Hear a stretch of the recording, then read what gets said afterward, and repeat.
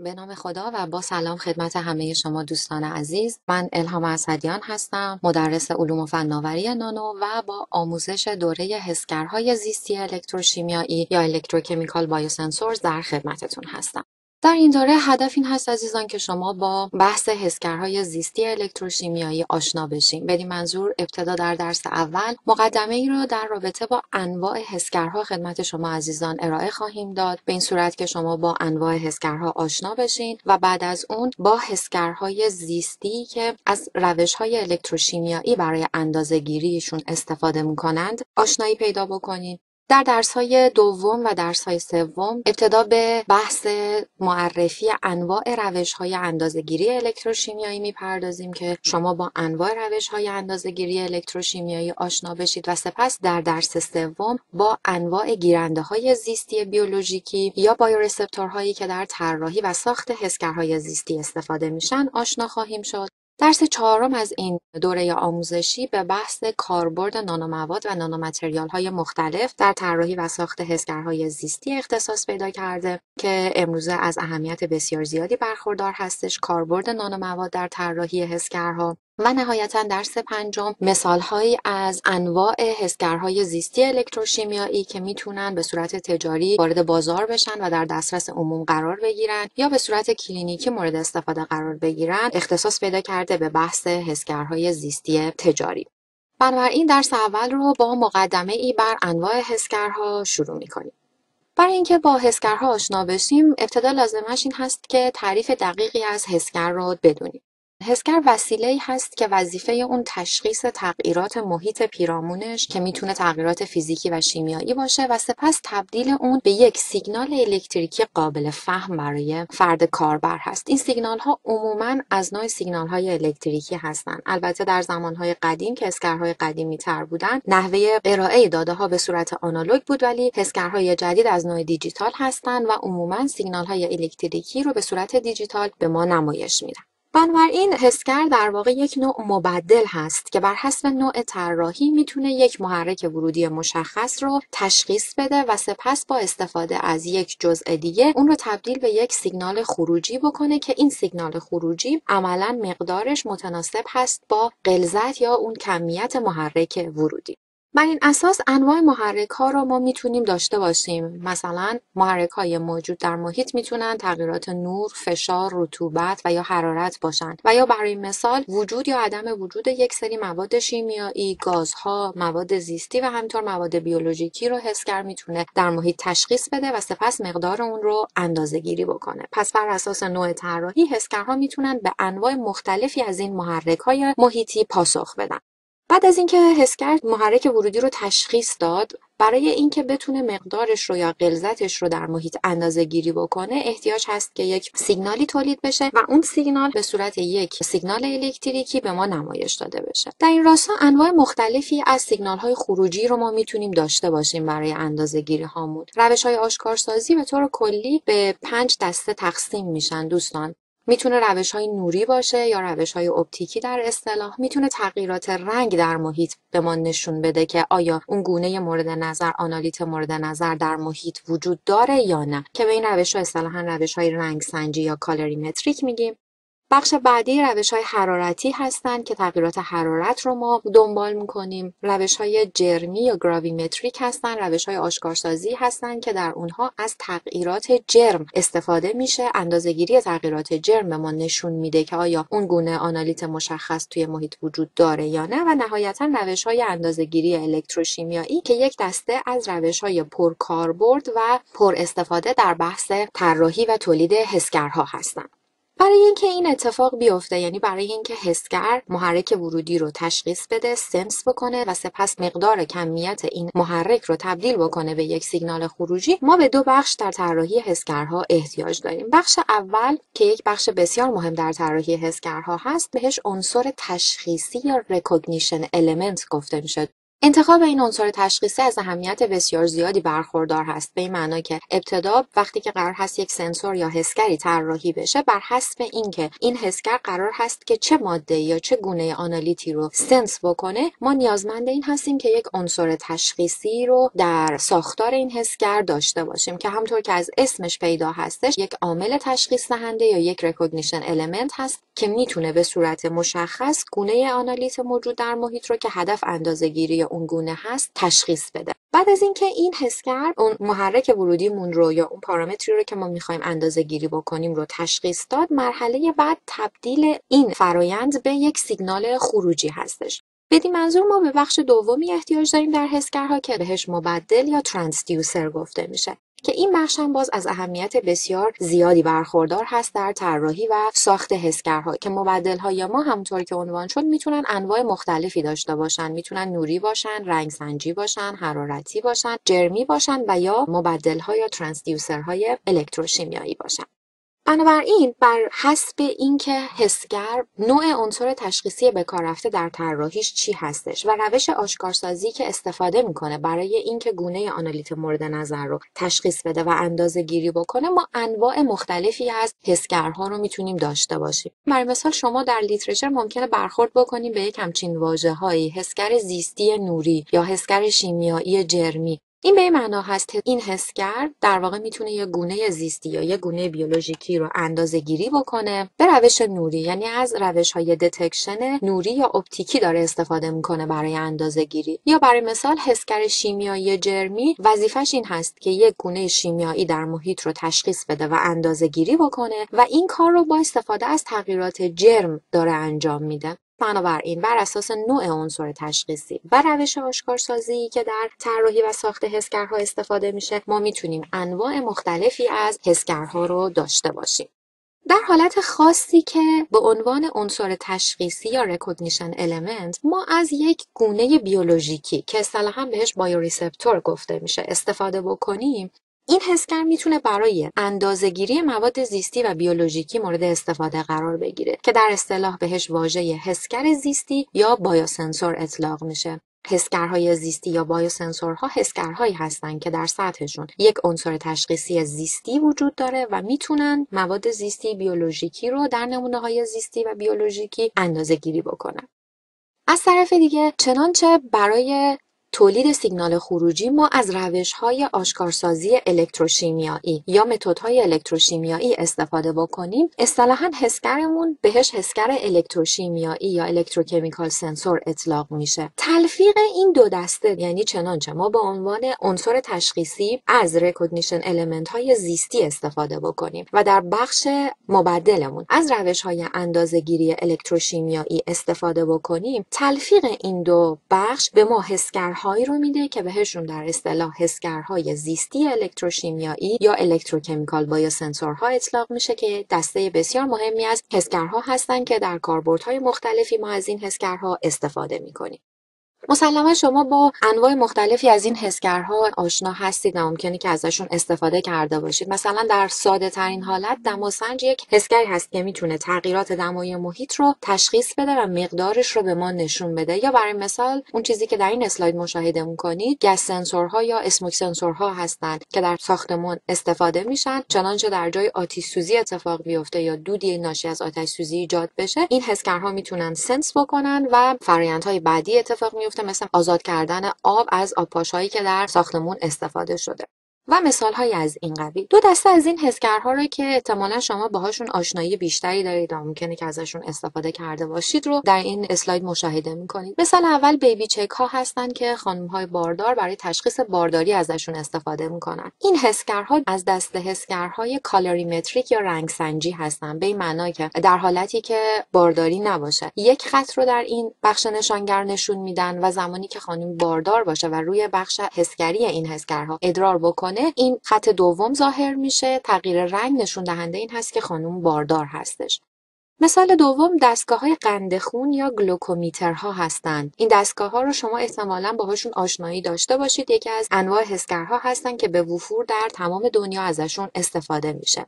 و یک مثال خیلی بارزی از حسگرهای زیستی الکتروشیمیایی هستند. وظیفه این دستگاه ها اندازهگیری قند خون یا گلوکوز هست. می‌تونن گلوکوز خون رو اندازهگیری بکنن به ویژه در بیمارانی که مشکلات دیابت دارن یا بیماری قند خون دارن از این حسگرها به صورت روتین و روزمره استفاده می‌کنن. مقدار گلوکوز خون رو با استفاده از یک بخش حسگری که درش از آنزیم گلوکوز اکسیداز استفاده شده می‌تونن اندازهگیری بکنن و با استفاده از روش های الکتروشیمیایی این مقدار رو یا غلظت گلوکوز رو به صورت عددی می‌تونن در این مانیتور مشاهده بکنن و از قند خونشون مطلع بشن. این دو مثال مثال هایی هستن از حسگرهای زیستی که احتمالا شما باشون آشنایی دارید و ازشون ممکنه که استفاده هم کرده باشید.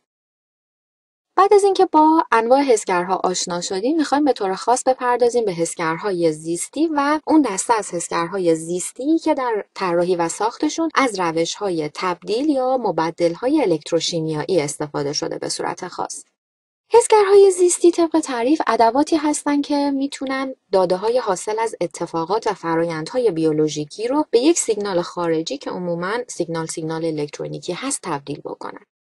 برای اینکه بتونن اتفاقات بیوشیمیایی موجود در حالا یا بدن یا نمونه های زیستی رو تبدیل بکنن به یک سیگنال خارجی به یک سری اجزای احتیاج دارن. حسگرهای زیستی که این اجزا رو دوستان در این اسلاید مشاهده می‌کنید. اولین بخش از یک حسگر زیستی همطور که عنوان شد گیرنده زیستی یا یک bioreceptor هست که در سطح حسگر باید تثبیت بشه. این bioreceptor یا گیرنده زیستی یکی از مهمترین بخش ها در ساخت و طراحی حسگرهای زیستی هست. که می‌تونه انواع مختلفی داشته باشه که در های بعد به صورت دقیقتر بهشون پرداخته میشه.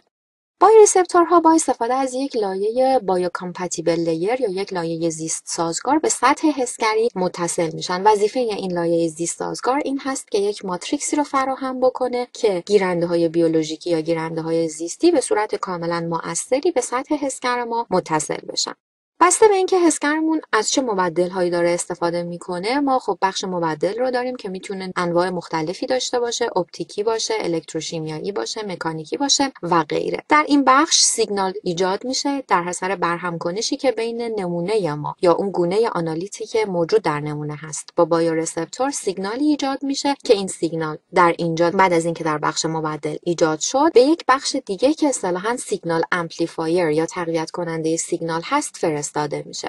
نکته که هست عموما غلظت گونه های آنالیت در نمونه های زیستی مقادیر خیلی کمی داره و بنابراین سیگنال هایی که تولید میشه از لحاظ اندازه مقدار عددی کوچیکی دارن. در نتیجه خیلی از اوقات ما نیازمند این هستیم که این سیگنال ها را قبل از اینکه به بخش بعدی بفرستیم در بخش signal amplifier یا قسمت تقویت کننده سیگنال تقویتشون کنیم. بعد از اینکه سیگنال ها تقویت شدن به یک بخش دیگه که قسمت میکروالکترونیکی دستگاه هست فرستاده میشن در اونجا data ها process میشن و نهایتا به شکل یک مقدار عددی به ما نمایش داده میشن. این حسگرهای زیستی یا biosensor ها برای انواع مختلفی از نمونه ها قابل استفاده هستند. مثلا نمونه های ما می‌تونن نمونه های انسانی باشن مثل نمونه خون نمونه ادرار نمونه بزاق دهان و غیره. می‌تونن نمونه های خوراکی و غذایی باشن و یا می‌تونن نمونه های محیط زیستی باشن. برای اینکه یک حسگر اصطلاحا بهش واژه biosensor یا حسگر زیستی اطلاق بشه حتما نیاز هست که به عنوان عامل تشخیصی یا recognition element یک ماده فعال بیولوژیکی در سطحش تثبیت شده باشه. گاهن ما در مقالات در literature مشاهده می‌کنیم که صرف اینکه یک حسگری بتونه یک ماده بیولوژیکی رو اندازه گیری بکنه بهش واژه biosensor اطلاق میشه. این تعریف تعریف درست و دقیق biosensor ها نیست. biosensor وسیله ای هست که در سطحش حتما باید یک bioreceptor تثبیت شده باشه. اگر که در سطح حسگر bioreceptor تثبیت نشده باشه ولو اینکه بتونه یک ماده بیولوژیکی رو هم اندازه گیری بکنه بهش واژه biosensor اطلاق نمیشه. بنابراین این رو در گوشه ذهنتون همیشه داشته باشین. زمانی که ما از واژه biosensor استفاده می‌کنیم منظورمون این هست که در طراحی حسگر در بخش حسگری از یک bioreceptor یک مولکول زیستی حتما باید استفاده شده باشه. انواع گیرنده های زیستی که در طراحی و ساخت حسگرهای زیستی استفاده میشن رو می‌خوایم در این بخش ببینیم که چه گیرنده هایی هستن. همونجور که در اسلاید های قبل پرداخته شد بهش محرک ورودی با استفاده از یک بخش که عنصر تشخیصی یا bio recognition element ما هستش تبدیل میشه به سیگنال خروجی. این عنصر تشخیصی در بحث حسگرهای زیستی گیرنده زیستی یا یک bioreceptor هست. این گیرنده های زیستی می‌تونن انواع مختلفی داشته باشن. آنزیم ها باشن مولکول های پروتئینی باشن که بهشون آنزیم گفته میشه. می‌تونن مولکول های از سیستم ایمنی بدن باشن که بهشون آنتیبادی گفته میشه. می‌تونن اسیدهای نوکلئیک باشن. اسیدهای نوکلئیک مثل زنجیره های DNA زنجیره های RNA و یا زنجیره های از آپتامرها باشن. و یا در حالت دیگه می‌تونه از میکروارگانیسم ها و یا سلول ها برای طراحی و ساخت حسگرهای زیستی استفاده بشه. پس حسگر زیستی حسگری هست که در سطحش یکی از این چهار عنصر زیستی یا مولکول زیستی آنزیم، آنتیبادی، اسید نوکلئیک، میکروارگانیسم ها و یا سلول ها تثبیت شده باشه. از طرف دیگه همونطور که عنوان شد در بخش حسگری بعد از اینکه آنالیت مورد نظر موجود در نمونه با اون bioreceptor ما برهم کنش داد در بخش عنصر تشخیصی اون سیگنالی که ایجاد شده به وسیله مبدل تبدیل میشه به یک سیگنال خروجی به عنوان مبدل ما در طراحی و ساخت حسگرها می‌تونیم انواع مبدل ها رو داشته باشیم. انواع روش های آشکارسازی یا detection method ها رو داشته باشیم که چهار دسته از مهمترین هاشون رو در اینجا شما مشاهده می‌کنید. روش های آشکارسازی ما می‌تونن روش های نوری باشن یا روش های اپتیکی می‌تونن روش های جرمی باشن یعنی تغییرات جرم رو ما می‌تونیم detect بکنیم آشکارسازی بکنیم. می‌تونیم از روش های رنگ سنجی استفاده بکنیم. تغییرات رنگ هست برای ما. می‌تونه نشون دهنده وجود یا عدم وجود یک آنالیت مشخص باشه. و نهایتا می‌تونیم از روش های الکتروشیمیایی برای طراحی و ساخت حسگرها استفاده بکنیم.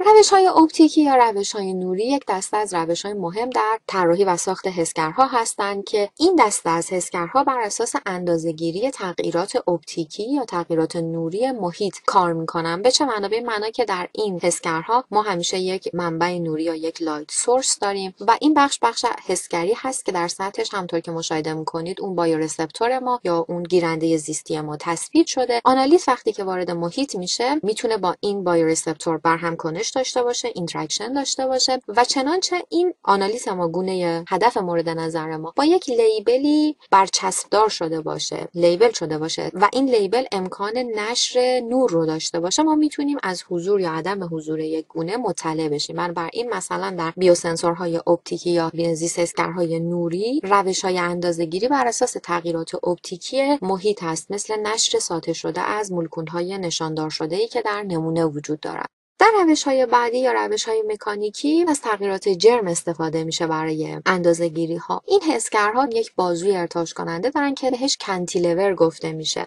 cantilever یک بازویی هست که با یک فرکانس ارتعاشی مشخصی همواره در حال ارتعاش هستش. سطح این cantilever رو با استفاده از bioreceptor مورد نظر اصلاح می‌کنن و بعد از اینکه مولکول های آنالیت موجود در نمونه برهم کنش داشتن با این cantilever وزن cantilever یا اون جرمی که روی سطح cantilever ما هست تغییر می‌کنه. بنابراین زمانی که وزنش تغییر می‌کنه فرکانس ارتعاشش هم تغییر می‌کنه و این تغییر در فرکانس ارتعاش این بازوی ارتعاش کننده هست که می‌تونه به ما نشون بده که آیا گونه آنالیت در نمونهمون وجود داره یا نداره. و تغییرات ارتعاشش هم متناسب هست با غلظت گونه آنالیت موجود در نمونمون بنابراین در حسگرهای مکانیکی یا حسگرهای جرمی ما از تغییرات در فرکانس ارتعاش بازوی ارتعاش کننده یا کنتیلورمون که با استفاده از گیرنده های بیولوژیکی اصلاح شده یا عامل دار شده می‌تونیم وجود یا عدم وجود آنالیتمون رو تشخیص بدیم و مقدارش رو اندازه گیری بکنیم. در نهایت در روش های الکتریکی که اساس روش های تشخیصی الکتروشیمیایی رو تشخیص میدن ما از نقل و انتقالات الکترون برای اندازه گیری هامون استفاده می‌کنیم. در این دسته از حسگرها حتما ما مجبور هستیم از سنسورها یا حسگرهایی استفاده بکنیم که یک بخش هادی دارن. یعنی باید هدایت کننده جریان باشن حتما تا بتونیم از اونها نقل و انتقال الکترون رو داشته باشیم و بتونیم مقدارش رو هم اندازه گیری بکنیم. بنابراین حسگرهای الکتروشیمیایی حسگرهایی هستن که می‌تونن تغییرات جریان و یا پتانسیل رو در سر یک واکنش الکتروشیمیایی که در سطح الکترود کار اتفاق میفته تشخیص بدن و مقدارش رو برای ما اندازه گیری بکنن که به این بخش در درسهای آینده با جزئیات بیشتری می‌پردازیم. به عنوان مثالهایی از حسگرهای زیستی طبیعی شما با حسگرهای مختلفی احتمالا آشنایی دارید. به طور فراوان در طبیعت و در ارگانیسم های زنده در بدن انسان از این سیستم های حسگری استفاده شده. مثلا سلول هایی که به محرک های فیزیکی بیرونی مثل نور صدا دما رطوبت فشار میدان های الکتریکی و مغناطیسی پاسخ میدن در بدن انسان یک سیستم حسگری هستند. برای مثال سلول های چشم می‌تونن تغییرات نور موجود در محیط رو sense بکنن detect بکنن و سپس متناسب با مقدار نور بهش پاسخ بدن. برای مثال زمانی که شما از یک محیط تاریک وارد محیطی میشید که نور بسیار زیادی توی محیط وجود داره برای اینکه نوری که به شبکیه چشم می‌رسه تنظیم بشه سلول های مردمک شروع می‌کنن به جمع شدن و این باعث میشه نوری که به صورت خیلی غیر ارادی و خودکار به شبکه چشم می‌رسه در داخل چشم این شکل تنظیم میشه. یا سیستم های تشخیص سمها و یا مواد غذایی در انواع جانداران وجود داره در حیوانات می‌تونه مثالی از حسگرهای زیستی طبیعی باشه. سیستم دفاعی بدن برای تشخیص عوامل خارجی مثل عوامل بیماریزایی از قبیل ویروس ها و باکتری ها یک مثال از حسگرهای زیستی طبیعی هست که نتیجه اون تولید پاسخهای ایمنی یا انواع پاتنها در بدن هست. های سیگنال دهنده داخلی از قبیل ها، انتقال دهنده های عصبی یا نوروترانسمیترها یا ها که های کوچک تولید کننده سیگنال های سلولی هستند. همه اینها هایی از حسگرهای زیستی طبیعی هست که در طبیعت وجود داره. از لحاظ تاریخی اولین حسگر زیستی ساخت بشر در سال 1962 توسط کلارک و لیونز ارائه شد و به افتخار کلارک که مبتکر طراحی این حسگر بود اصطلاحا به حسگر کلارک معروف هست که جهت اندازهگیری گلوکوز در نمونه های زیستی استفاده میشه. این حسگر در طراحیش از آنزیم گلوکوزوکسیداز استفاده شده که این آنزیم بر روی سطح یک قشای دیالیز نیمه تراوا که می‌تونه نسبت به اکسیژن پاسخ داشته باشه تثبیت شده و وظیفش این هست که مقدار گلوکوز خون رو به صورت مستقیم اندازه گیری بکنه. حسگر کلارک اولین حسگر زیستی ساخت بشر بود که در سال 1962 ساخته شد و بعد از اون در طی این چند دهه گذشته انواع مختلفی از حسگرهای زیستی طراحی و ساخته شدند که در زمینه کاربردهای مختلفی از قبیل کاربردهای پزشکی، کلینیکی و همینطور کیت‌های تشخیصی ما می‌تونیم از اونها استفاده بکنیم. همچنین در بحث تولید داروها، کنترل کیفیت مواد غذایی و مواد دارویی، کنترل پسماند آبهای صنعتی، همچنین صنایع دفاعی و نظامی و در نهایت در صنایع کشاورزی می‌تونن مورد استفاده قرار بگیرن البته کاربردهای حسگرهای زیستی خیلی خیلی وسیعتر از این بخشهایی هست که من خدمتتون ارائه کردم به عنوان مثال زمینه هایی که حسگرهای زیستی می‌تونن در اونها کاربرد داشته باشن این چند مثال رو من خدمتتون ارائه کردم. ویژگی های حسگرها رو ما به چه صورتی تعریف و طبقه بندی می‌کنیم؟ برای اینکه ما یک حسگری رو بگیم حسگر خوبی هست. نیازمند این هستیم که چند پارامتر رو که برای حسگرها تعریف میشه اینجا معرفی بکنیم. یکی از پارامترهای خیلی مهمی که در زمینه اولویت کردن و یا ارزیابی حسگرها مورد بررسی قرار می‌گیره بحث حساسیت یا sensitivity اون حسگر هستش. حساسیت نمایانگر مقدار تغییرات سیگنال خروجی به ازای تغییرات جزئی در کمیت محرک ورودی ما هستش. به معنی که مثلا شما دماسنج رو تصور بکنید. دماسنج حسگری هست که وظیفش این هست که تغییرات دمای محیط رو اندازه گیری بکنه و به ما نشون بده. حسگر باید بتونه این تغییرات رو به صورت تغییرات یک درجه سانتیگراد در محیط برای ما اندازه گیری بکنه. یعنی باید این توانایی رو داشته باشه که تغییرات دمای محیط رو هر یک درجه بتونه به ما نشون بده. در این حالت گفته میشه که مثلا دماسنج اون حسگری که ما داریم حساسیت مناسبی داره. ولی اگر دماسنجی ما داشته باشیم که به ازای هر سه درجه تغییر دما یا به ازای هر چهار درجه تغییر دما داره پاسخ میده به ما خب مسلما از حساسیت مناسبی برخوردار نیست. پارامتر بعدی که برای حسگرها تعریف میشه بحث گزینش پذیری یا سلکتیویته حسگر هست. در حالت ایدئال حسگر باید بتونه فقط به یک جزء پاسخ بده. چه جزئی؟ اون جزء یا گونه آنالیتی که مورد نظر ما هست. مثلا برای مثال من نمونه ای دارم که حاوی گونه های X و Y و Z هستش. من می‌خوام گونه Y رو فقط اندازه گیری بکنم. در حالت ایدئال حسگر من فقط باید بتونه در حضور گونه های X و Z گونه Y رو اندازه گیری بکنه. در این حالت گفته میشه که حسگر از گزینش پذیری یا سلکتیویته خوب و بالایی برخوردار هستش. ولی اگر حسگر حسگری باشه که تغییرات غلظت گونه های X و Z هم در پاسخش تاثیر داشته باشه. یا علاوه بر گونه Y گونه های X و Z رو هم یک مقداری بیاد اندازه گیری بکنه و یک بخشی از غلظت اونها رو هم به ما نشون بده خب مسلما حسگر گزینش پذیری یا سلکتیویته کافی و لازم رو نداره.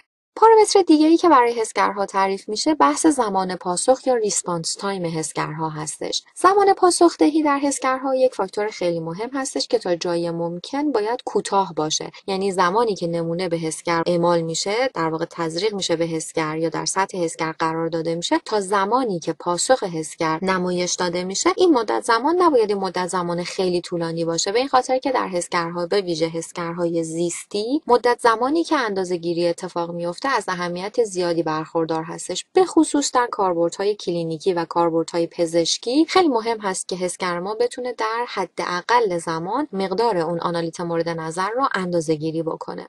بحث بعدی بحث حد تشخیص یا limit of detection که اصطلاحا با LOD نمایش داده میشه هستش.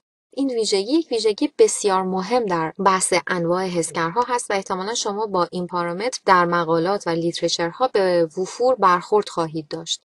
حد تشخیص گیری ها حداقل یا کمترین مقدار غلظتی هست که یک حسگر می‌تونه اندازه گیری بکنه.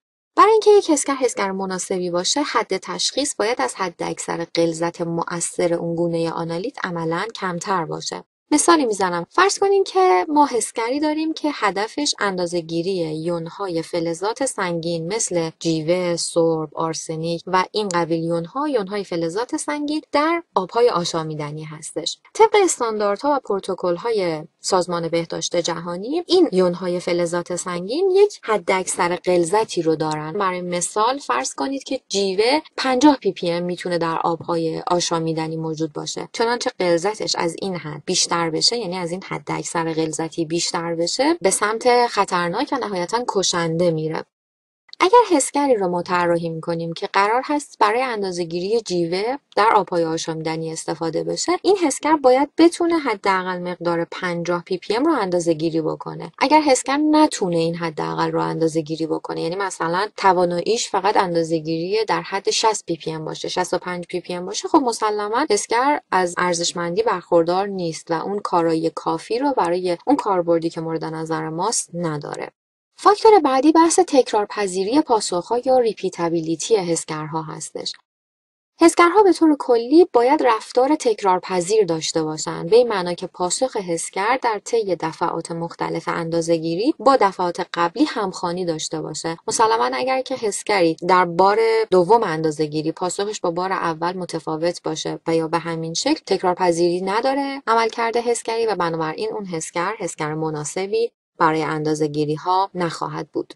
پارامتر بعدی بحث قابل حمل بودن یا پورتابیلیتی هست که در بعضی مواقع جزء پارامترهای خیلی مهم برای کاربری حسگرها هستش. در رابطه با حسگرهای زیستی خب خیلی از حسگرها حسگرهایی هستن که در کاربردهای کلینیکی و یا پزشکی استفاده میشن در نتیجه اگر ابعاد و اندازه های بزرگی هم داشته باشن و قابل حمل هم نباشن ممکنه که ایجاد اشکال هم نکنه خیلی ولی بسیاری از حسگرها حسگرهایی هستند که به صورت روتین می‌خوان استفاده بشن و باید قابل حمل باشن بنابراین بحث ابعاد و قابل حمل بودن برای حسگرها در خیلی از جاها اهمیت بسیار زیادی پیدا می‌کنه و خیلی مهم هست که ما از تکنیک هایی استفاده بکنیم که امکان کوچک سازی و یا اصطلاحا miniaturization رو داشته باشن. بحث user friendly بودن یا راحتی کاربرد استفاده از حسگرها بحث دیگه ای هست که خیلی مهم هست به طوری که کار با حسگر باید راحت باشه به معنا که کار کردن با حسگر برای افراد عامی و آموزش ندیده قابل انجام باشه. به این صورت نباشه که حسگر طراحیش به گونه ای باشه که فقط افراد آموزش دیده بتونن ازش استفاده بکنن. برای مثال حسگرهای گلوکومتر یا قند خون حسگرهایی هستن که خیلی کار کردن باهاشون راحت هستش. حسگرهای تجاری هستن که افراد عامی و آموزش ندیده اصطلاحا ترین نشده هم می‌تونن از این حسگرها به راحتی استفاده بکنن. بنابراین اگر قرار هست که حسگری به صورت تجاری وارد بازار بشه یکی از پارامترهای مهمش این هست که کار کردن باهاش راحت باشه. بحث طول عمر حسگری یا واژه لانگ ترم استابیلیتی یک ویژگی دیگه از حسگرها هست. در حالتهای ایدئال حسگر نباید یک بار مصرف باشه اگر هم قرار هست که یک بار مصرف باشه باید از لحاظ اقتصادی توجیه اقتصادی داشته باشه یعنی برای مثال ما حسگرهایی رو که اگر قرار هست تهیه بکنیم و استفادهشون بکنیم به صورت روتین باید طول عمر قابل قبولی داشته باشن. به این شکل نباشه که بعد از گذشت یک مدت زمان کوتاهی اینها عملکرد حسگری خودشون رو از دست بدن. حداقل یک سال چند ماه شیش ماه مثلا اینها باید قابل استفاده باشن طول عمر قابل قبولی داشته باشن تا از لحاظ اقتصادی توجیه اقتصادی عملا داشته باشن. بحث ارزان و مغروم به صرفه بودن حسگرها هست که خب در بخش قبلی هم باز بهش پرداخته شد. حسگرها باید از لحاظ اقتصادی مغروم به صرفه باشن. البته همطور که قبلا هم عنوان شد اگر قرار هست که حسگری حسگری باشه که به صورت کلینیکی یا پزشکی ازش استفاده بشه چون حسگری هست که یک بار خریداری میشه و در بخش های خاصی قرار هست ازش استفاده بشه چنانچه قیمتش هم خیلی بالا باشه توجیه اقتصادی داره. ولی اگر قرار هست که حسگر حسگری باشه که به صورت تجاری وارد بازار بشه و در دسترس عموم قرار بگیره از لحاظ اقتصادی باید مغروم به صرفه باشه و امکان خریداریش برای قشر وسیعی از افراد وجود داشته باشه. و نهایتا اینکه حسگرها باید امکان آنالیزهای حقیقی یا real time analysis رو در اختیار فرد کاربر قرار بدن به معنی که برای نمونه های حقیقی مناسب باشن برای آنالیز کردن نمونه های واقعی کاربرد پذیر باشن.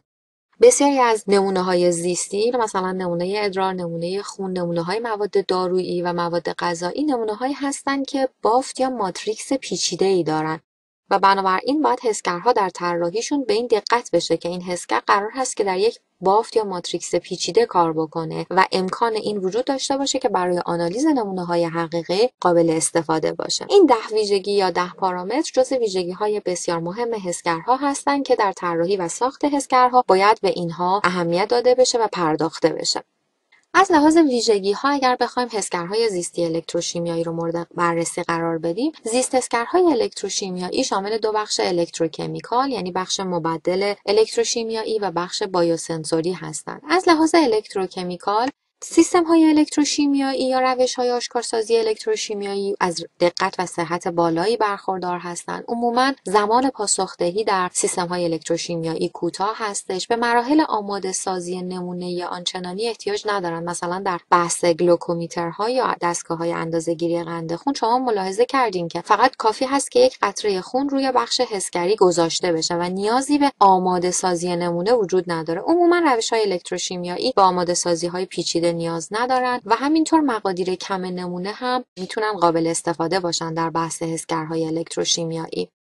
نکته بسیار مهم در سیستم های الکتروشیمیایی امکان کوچک سازی اصطلاحا miniaturization و مجتمع سازی یا integration شون با اجزای الکترونیکی هستش. ما این بحث رو در خیلی از حسگرها مثل حسگرهای اپتیکی نداریم. در حسگرهای اپتیکی ما نیاز به این داریم که همیشه یک light source یا یک منبع نوری داشته باشیم و ادوات نوری خیلی امکان کوچک سازیشون وجود نداره. ولی ویژگی های سیستم های الکتروشیمیایی این هست که ما می‌تونیم این سیستم ها رو کوچیک بکنیم در ابعاد خیلی کوچیک و قابل هم می‌تونیم اینها رو طراحی بکنیم و امکان اینکه با اجزای الکترونیکی مجتمع بشن. در همین حالت کوچک و مینیاتوری شده هم وجود داره که این یکی از ویژگی های مهم حسگرهای الکتروشیمیایی هستش. از جهت بایوسنسوری حسگرهای زیستی گزینش پذیری بسیار بالایی دارند در درس های بعدی به این می‌پردازیم که عموما برهم کنش هایی که بین آنالیت های ما آنالیت های موجود در نمونه های زیستی و بایوریسپتوری که موجود در سطح حسگری هستش عموما برهم کنش های اختصاصی هستش. بنابراین زیست حسگرها یا biosensor ها از اختصاصیت و گزینش پذیری بالایی برخوردار هستند و با توجه به این نکته دستیابی به حد تشخیص های پایین رو ما می‌تونیم داشته باشیم برای این حسگرها و از طرف دیگه امکان استفاده در اندازهگیری های درونتنی یا in vivo هم برای این حسگرها وجود داره. مثالی از این اندازهگیری ها حسگرهای زیستی کاشتنی اصطلاحا یا implantable هستند که می‌تونن در بخش های مختلف بدن کاشته بشن و ازشون استفاده بشه. مجموعه روش های آشکارسازی الکتروشیمیایی و وجود بایوریسپتورها یا گیرنده های زیستی در سطح حسگرهای زیستی به ما تلفیقی از ویژگی های منحصر به فرد رو میده که حسگرهای زیستی الکتروشیمیایی رو از اهمیت قابل توجهی برخوردار می‌کنه. ولی به این شکل نیست که حسگرهای زیستی الکتروشیمیایی خیلی معایبی هم دارند که این معایبشون عبارت هست از نبودن امکان استریلیزه کردن دمایی این حسگرها. خب این حسگرها با توجه به اینکه برای اندازهگیری نمونه های زیستی قرار هست که استفاده بشن نیازمند این هستیم که قبل از اندازهگیری استریلیزشون بکنیم. به ویژه زمانی که قرار هست از اینها در بحث اندازهگیری های درونتنی یا این ویوو استفاده بشه. مسلما بدون استریلیزه کردن ما نمی‌تونیم این حسگرها رو استفاده بکنیم. نکته یا مشکل یا چالشی که در واقع در این بخش وجود داره این هست که چون در سطح حسگرهای زیستی ما از مولکولهای زیستی یا بایوریسپتورها استفاده کردیم امکان استریلیزه کردن دمایی وجود نداره. به این خاطر که این مولکولهای زیستی به شدت به دما حساس هستن و می‌تونن با افزایش دما دناتوره بشن یا عملکرد زیستی خودشون رو از دست بدن. پس چالشی که در زمینه حسگرهای زیستی وجود داره همین بحث نبودن امکان استریلیزه کردن دمایی حسگر هستش. از طرف دیگه ممکن هست که این گیرنده های زیستی که در سطح حسگر تثبیت شدن در اثر وجود یک سری مولکول های موجود در نمونه اصطلاحا مسموم بشن. سطحشون کاور میشه و دیگه اون عمل کرده خودشون رو نمی‌تونن ارائه بدن.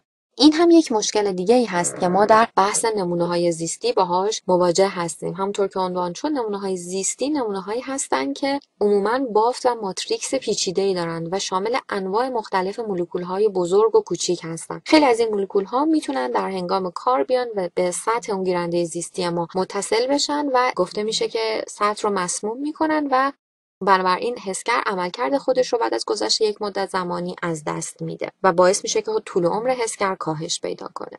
چالش نهایی بحث ناپایداری مواد بیولوژیکی و حساس بودنشون به شرایط محیطی از قبیل دما، تغییرات پیچ محیط و حضور یونها هستش. مواد بیولوژیکی عموما مواد خیلی خیلی حساسی هستن که به تغییرات شرایط محیطی واکنش نشون میدن و شرایط محیطی از قبیل تغییرات دما یا تغییرات شدید در پیچ محیط و یا حضور خیلی از یونها می‌تونه روی پاسخ حسگری تاثیر خیلی مستقیمی داشته باشه. این هم از چالش هایی که ما در بحث حسگرهای زیستی الکتروشیمیایی باهاشون روبرو میشیم و باید به یک نوعی این چالش ها رو مرتفع کنیم یا برطرف کنیم. به نام خدا با درس دوم از آموزش حسگرهای زیستی الکتروشیمیایی تحت عنوان انواع روش های اندازهگیری الکتروشیمیایی در خدمت شما عزیزان هستم. در درس اول با انواع حسگرها شما عزیزان آشنا شدید و به بحث حسگرهای زیستی الکتروشیمیایی یا الکتروکمیکال بایوسنسورها پرداخته شد.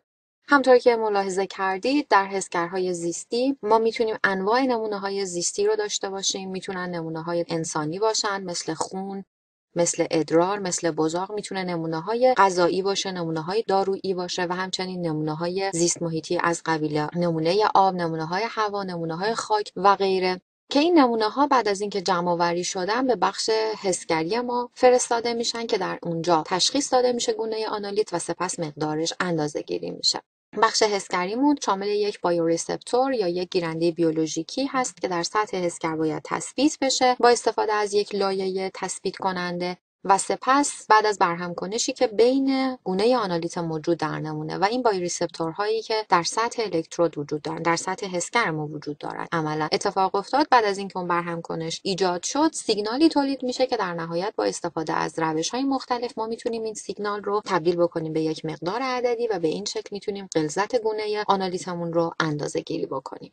بنابراین مراحلی که در طراحی حسگرهای زیستی درگیر هستن رو می‌تونیم به سه مرحله کلی تقسیم بکنیم. مرحله اول انتخاب اون گیرنده بیولوژیکی یا bioreceptor ی هست که باید در سطح حسگرمون تثبیت بشه. سپس اون گونه رو باید در سطح حسگر با استفاده از روش مناسبی اصطلاحا تثبیت یا immobilize بکنیم و در نهایت از یک مبدل مناسب برای ایجاد اون سیگنالمون استفاده بکنیم که سیگنال ها هم همونطور که عنوان شد عموما از نوع سیگنال های هستند.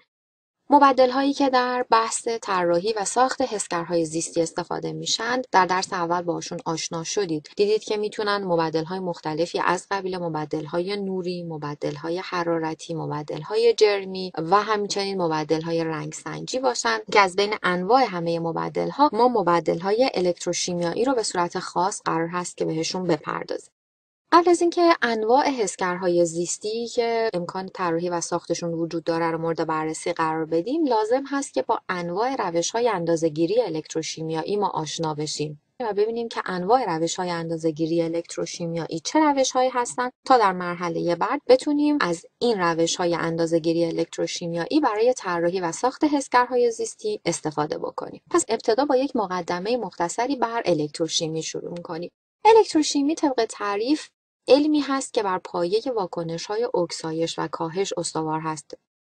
های اکسایش و کاهش که اصطلاحا بهشون های ردوکس گفته میشه که این از مخفف در واقع reduction به معنای کاهش و oxidation به معنای اکسایش گرفته شده این abbreviation ردوکس واکنش هایی هستند که با نقل و انتقال الکترون ها همراه هستند. یعنی واکنش هایی که در اونها یک گونه می‌تونه الکترون از دست بده و در مقابلش یک گونه ای هست که می‌تونه الکترون رو بگیره می‌تونه به عنوان پذیرنده الکترون عمل بکنه. به عنوان مثال فرض کنید که ما یک تیغه از جنس روی داریم که اون رو در محلولی از CuSO4 داریم قرارش میدیم. اگر این کار رو انجام بدیم بعد از گذشت یک مدت زمانی می‌بینیم که روی تیغمون آروم آروم یک سری رسوب هایی تشکیل میشه و بعد از گذشت یک مدت زمانی محلول ما شروع می‌کنه به کم رنگ تر شدن و روی تیغه یک رسوب سیاه رنگی شکل می‌گیره. چرا این اتفاق میفته؟ چرا ما با یک همچین پدیده روبرو هستیم؟ اتفاقی که در اینجا میفته یک سری واکنش های اکسایش و کاهش یا واکنش های ردوکس هست که در فصل مشترک بین تیغه و محلول الکترولیتمون اتفاق میفته به این معنا که زمانی که ما تیغه روی رو در داخل محلول قرار میدیم اتم های روی موجود در سطح الکترود ما می‌تونن آروم آروم الکترونشون رو از دست بدن به شکل زد دوباره مثبت وارد محیط بشن. این اتفاق میفته در داخل محلول. چرا؟ به این خاطر که روی تمایل داره که دو الکترون از دست بده و از لحاظ الکترونی به اون آرایش الکترونی پایدار خودش برسه. ولی آیا این اتفاق به همین شکل به صورت خود به خودی داره اتفاق میفته یعنی اگر که من